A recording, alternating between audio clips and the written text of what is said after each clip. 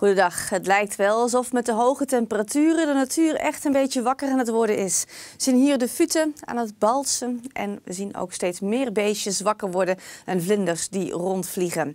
Toch krijgen we wat natter weer de komende dagen. Vooral de dinsdag en woensdag verlopen echt heel erg nat en gaan de temperaturen ook een klein beetje dalen. Maar vandaag overdag is het nog heel fraai weer met geregeld zon, ook wat wolkenvelden. De meeste bewolking nog in het zuidoosten, dat trekt langzaam aan de weg en daarna krijgen we de zon dus geregeld te zien.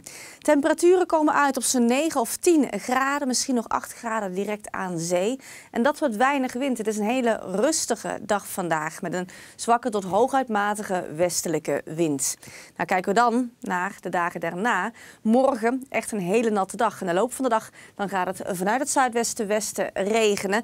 En er kan er best een flinke plens vallen, wel een emmer water per vierkante meter.